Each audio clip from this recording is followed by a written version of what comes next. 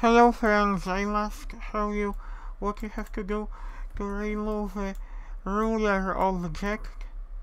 Because we have annotate eraser and we have to press N button.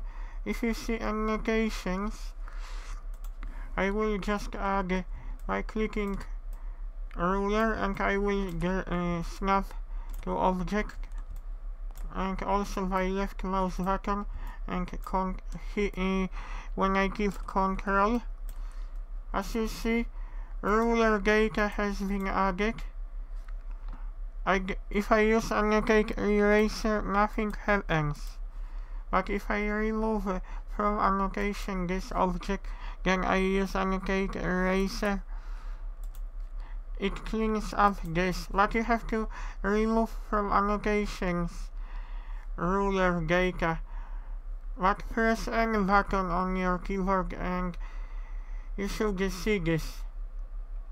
They changed because this is uh, quite a new version. This is from March 6th of March 2019 they also added new feature.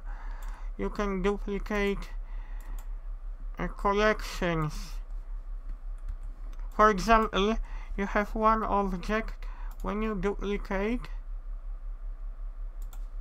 you have uh, wait a minute Right. This should be copy. Oh yes, we have copy of this object, but you can duplicate collection and object. I have to move them. Now you can have copy. As you can see, some changes have been made. Okay, I have to finish now.